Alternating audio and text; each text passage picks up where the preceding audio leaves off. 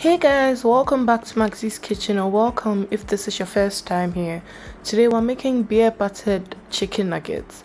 Now you can use the same batter for fish and have it with chips and you can use it for so many other things. But I just want to make chicken today so stay tuned, don't go anywhere.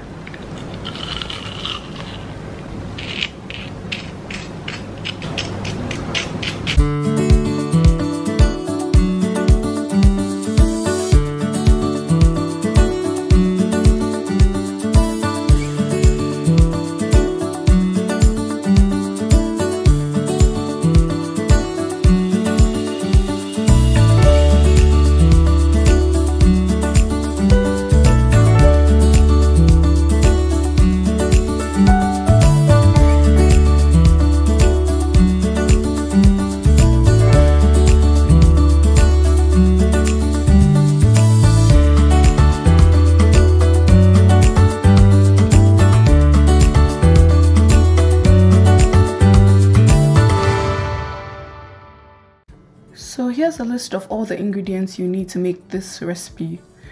Now we're going to start with the batter. So we're making the dry ingredients, um, the dry mixture for the batter. Now you want to make sure that everything related to the batter is very cold.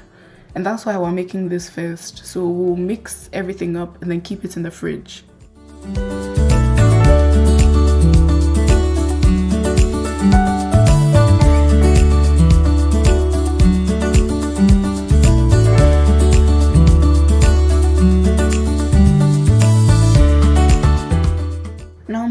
To the chicken, I use chicken thigh fillets because I think they are more flavorful. They have um, fats attached to the chicken, unlike the chicken breast, which adds to the flavor. But you can use chicken breast if you don't have chicken thigh fillets or if you don't want to use it. Okay, so now I'm going to grind my chicken and I used this Ninja mini chopper to actually do it and it did the job very very well. If you have it, please use it. If you have a food processor, it would do the job very well too. You can use a blender, I think, but just make sure that whatever you're using is giving you a finely, um, is giving you a nice texture, okay? So you want it to be finely grounded like this.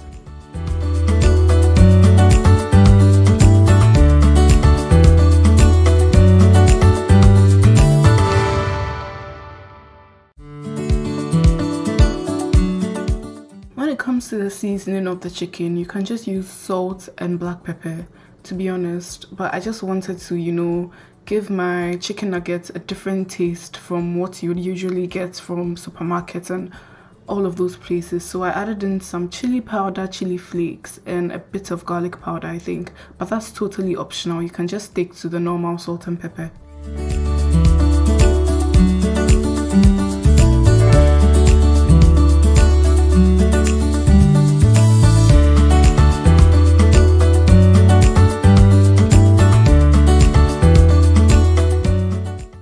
Guys, please when it comes to the molding of the chicken nuggets, don't be too precise. Don't try and get all of them to be the same shape, the same size. Guys, variety is the spice of life. Honestly, you don't need to be a perfectionist all the time. Make some smaller, make some bigger, make some into like perfect circles and just make some into different irregular shapes and they would look very very nice.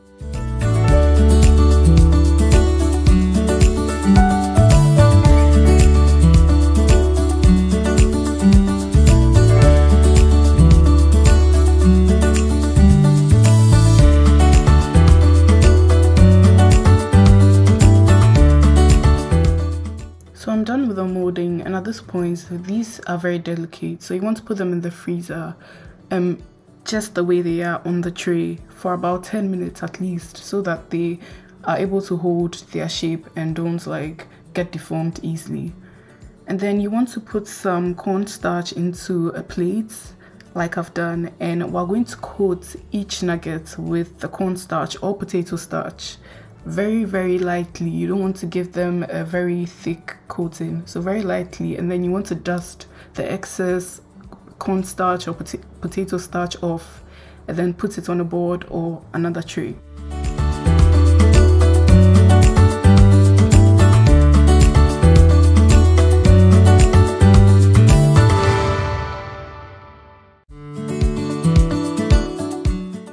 So I'm done with those and I'm going to set that aside and get our dry mixture for the batter from the fridge. Remember that we put it in the fridge and you don't want to take it out until you need to make the batter. Okay, let's talk about the beer. Now I used Heineken because Heineken has a very, it has a lot of gas. I know that all beers have a lot of um, gas, they're all carbonated, but some have more gas than some. And I think Heineken is a very um, typical example of the one that has a lot of gas. So I'd recommend that you use it. Or find one just like Heineken, which has very high um, uh, gas content.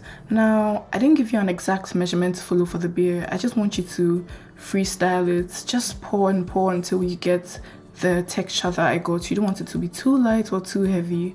Okay, so once you're done, just take your chicken nugget, dip it in the batter, and then fry in your hot oil. You can fry it for some time, take it out, and then second fry again. So you can fry twice.